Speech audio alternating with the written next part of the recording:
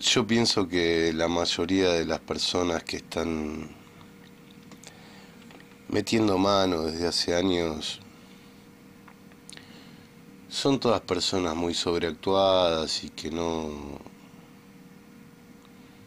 no tienen ningún caudal de elaboración propia ni, ni de ideas ni de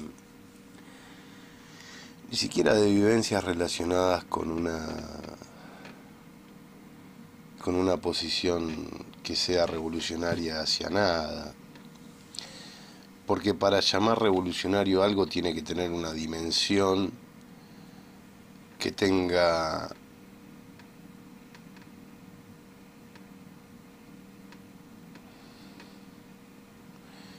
un ejercicio sobre toda la cultura de dominación.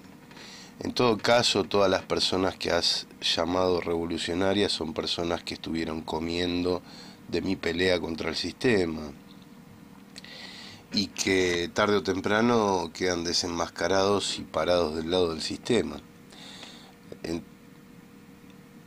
y alcanza con el mero hecho de revisar que yo soy el censurado y, y los demás son los que se llevan el dinero, ¿no? Entonces, si una persona es lo que hace y no lo que dice, está muy claro a qué, a qué se dedica cada parte, ¿no?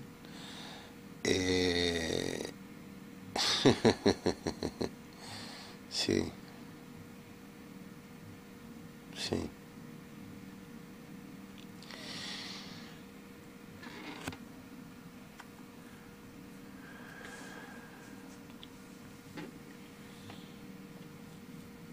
Yo no tengo problema con...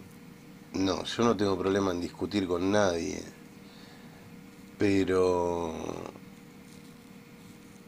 toda discusión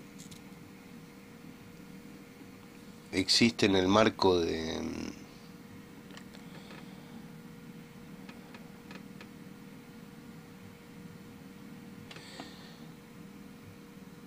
de que existe una, una confrontación entre argumentos, no una confrontación entre mis argumentos manipulados por quienes los roban en una emboscada para hacerme una cama, para hacer ver cómo las cosas son de otro modo. Y te pongo un ejemplo muy concreto. La fecha en que Natalia Oreiro en ATC canta Tuve tu velero, no se sabe a la fecha de hoy actual si estaba relacionado con ex, ex parejas que convivieron conmigo en dicho video, eh, me refiero al periodo de Belgrano, si estaba relacionado con personas que iban al video o si estaba relacionado